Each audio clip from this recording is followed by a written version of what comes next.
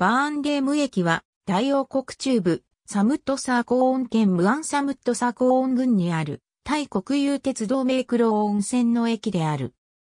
駅に隣接しているマハーチャ駅への連絡線、乗り場バーンレーム駅は大王国中部サムットサーコーン県の県庁所在地であり、人口24万人が暮らすムアンサムットサーコーン郡に位置する。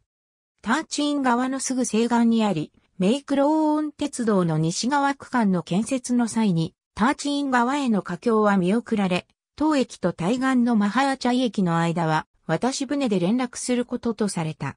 架橋は現在も実現しておらず、メイクロー温泉は分断区間を渡し船で連絡する形態が続いている。渡し船は当駅の着発時刻に合わせて運行されている。マハーチャ駅やメイクローン駅とは異なり、当駅の構内では市場はほとんど開かれていない。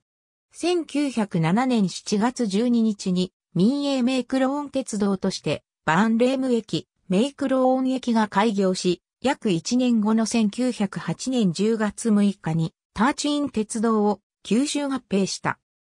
1942年から1945年の第二次世界大戦中止鉄のメイクローン鉄道は軍事管理下に入りその後1946年5月8日に国有化されたい国鉄の駅となった。駅構内片面ホーム一面一線の地上駅である。1990年代末頃までは片面ホーム、島式ホーム各一面を有していたほか、構内にはメイクロー温泉西側区間の運用車両が大泊する何本かの側線が設けられていたが、2000年代以降、運用車両の減少により側線はすべて撤去され、駅自体も防線駅に縮小された。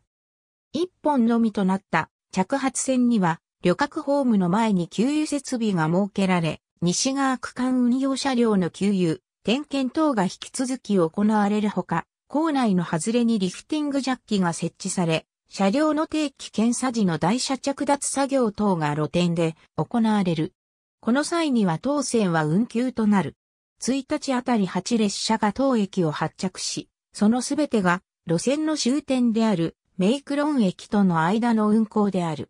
列車はすべて普通列車であり、二等車のみの4両、編成である。終点であるメイクロン駅まで1時間かかり、その運賃は10バーツである。タイ鉄道旅行、王国の鉄路タイ鉄道の歴史。P47 王国の鉄路タイ鉄道の歴史。P222 鉄道ピクトリアル2000年6月号。P102 ありがとうございます。